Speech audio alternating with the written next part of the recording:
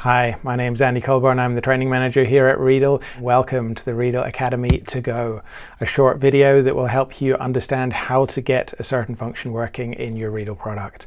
If you want to go a bit deeper and find out more about the technology that makes our systems work, then please do head over to the Riedel website and click on the Academy section. There we have all kinds of sessions from webinars to presentations, workshops, interactive online trainings. We also do in-person trainings.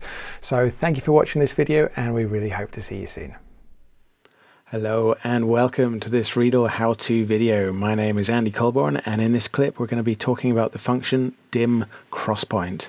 Now let's imagine the scenario where there are multiple people speaking into one specific destination and there's one user that's coming through a lot louder than all the other users. Or let's say one of the users is a lot quieter than all the others, and this person is struggling to be heard because there's another source playing through the destination. Maybe there's a loudspeaker in the studio, the program audio is coming through, and one of the producers doesn't really have a loud voice, and so this producer is struggling to be heard because of the program feed that is coming through the speaker.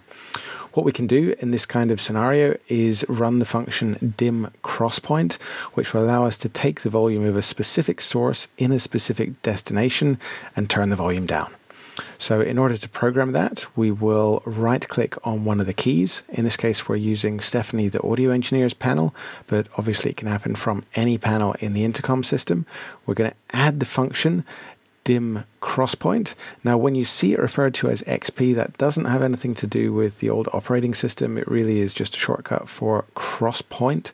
So we're going to select that, which brings up the window where we can choose what the source is. So let's say we're going to take the program audio and we're going to dim it in the loudspeaker in the studio. So now we've selected the source, we've selected the destination. All that's left to do is choose how many dBs we're going to dim the audio by. Let's say 9 dB. That's something noteworthy. Now, if we go to the General tab for this key, then we can affect the key properties, and it does make sense to make a change to the key label simply so that it's obvious to Stephanie what she's going to be influencing when this comes up. So we could say PGM loudspeaker minus, or we could even shorten that somewhat, minus 6. And that way Stephanie knows exactly what's going to be turned down by how much in where. And so once we select that, then straight away program loudspeaker minus 6, Stephanie knows what she's going to be doing. I hope that explains it to you in sufficient detail. Please do leave your comments in the section below and don't forget to subscribe in order to ensure that you don't miss out on any future video releases we make explaining how to do stuff with Riedel Artist.